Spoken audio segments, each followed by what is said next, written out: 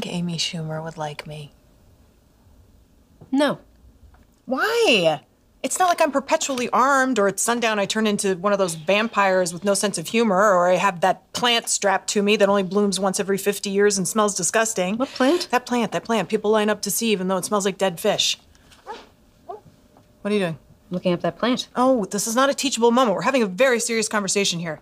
Hmm, corpse flower. Some only bloom once a decade. Hmm, happy?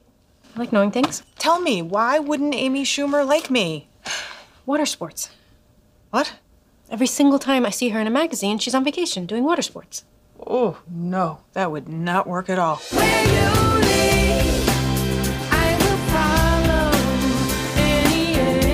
Do you think John Oliver would find me hot?